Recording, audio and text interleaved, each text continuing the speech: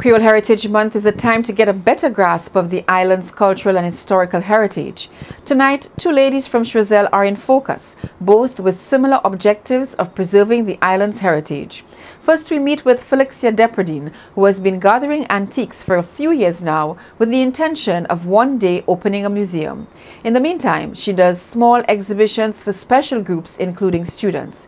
Calabash TV was specially invited to view the exhibits. My name is Petrolina Depradine, originally from Choiseul. I worked at JQ's for some time. After I left JQ's, I opened a daycare. Then when I started collecting stuff, and then finally I opened and used to display them for a few years, and then I started charging a fee because it's a lot of work I go to, I start like seven o'clock in the night and two o'clock in the morning. I'm still packing, so I charge a fee. But some people come, some don't. But the preschools come. Um, they feel very satisfied because I have a visitors book, and their remarks are very encouraging. I must say. But I wish if later on the years, if I I'm not around. I wish someone would take on the, you know, continue, continue to, to do whatever it is. Now, uh, how did you start doing this? What inspired you to start this? Well, I always loved the antiques, but then since I was teaching, then from teaching I left. I came to work at JQ's for some time.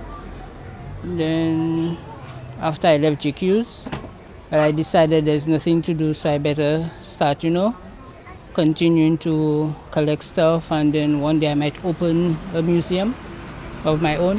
So, do you remember when, when you actually started collecting? What is the first piece, uh, the first piece that you started collecting? Mm. Do you remember that? Or do you remember the period? What what excited you most when you started collecting?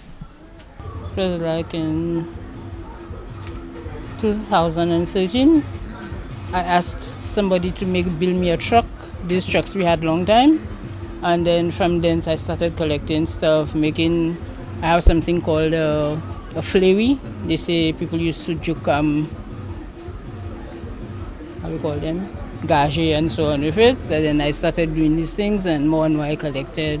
I bought. I found some in the house, and that's how I am. So when you say collecting, you, you, you go around asking people for things, or how does yeah, it? I do that. Mm-hmm. Once I have the chance, I go around. I ask could you tell me if you have seen so and so somewhere or is there anybody with so and so? Then if they tell me, I, I go ahead, I buy it. Sometimes I get them free. Because two weeks ago I bought a jar out of clay for 250 So, uh, but I have it in Choiseul. Yeah, because I have some of my stuff down there too. So if maybe you're passing on Sunday, you could give me a, a visit. Definitely. Also, you actually spend your own money buying things as well. Yeah, yeah. And um, do, how, how do you decide who has things? Do you just see a house and figure there must be some old things in there, or, or, or sometimes, yeah. sometimes, yeah. But I go around asking people if you see so and so, like I want a gramophone. I had one, but it was stolen. So I asked people if they know of anybody for gramophone, but now everybody's cherishing what they have in terms of the range, starting from I know you have from Fanta bottles to all kind of, but give us an idea of the range of things you have there. Well, I have a four-poster bed. That's a long time. I have the old pails, well, the white one. I have a colored one there, but I have a white one. I have stuff where to climb the four-poster, you'd have to go up on something to climb it. Then I have something to kneel by the bed to pray. That's in Choiseul. What else? I have a, a, metal trunk, but it's in the in the house in the yard. So I can't put it. I don't have space to put it. I have these um the machines, the cash registers. I have one which you have to crank if it's outside. I have one without cranking. What else do I have? So basically any and everything. Anything I get. Anything. So what is your most prized possession? What do you value the most out of everything you have here? Oh, I think I love everything that is inside of here. I don't play by myself. I love everything I have. I cherish everything. Everything. Like I like there's no difference. I cherish everything. And which have you spent the most money on? Oh, the banjo. I bought it for 450. Yeah, but yeah, there's two something, 150, 60 dollars. You know, it all depends.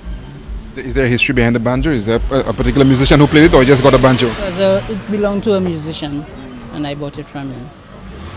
And I see you have a catapult as well. We haven't seen those for a while. Yes, I had somebody make that one for me over the years. I have it for a while now. All right. Well, we really, appreciate. So, wha- what's the big joy you get out of this? Well, I just do it for the for the love of doing it, and let people see, you know, from the times what we haven't seen in a long time, what they haven't seen in a long time. So, yeah. Because when I lift up like for Creole Day, I normally lift up the curtains, and people would stand by and watch and laugh and. You know, say where the lady get this from? Where she got that from? Hey, it's a long time I haven't seen that. You know,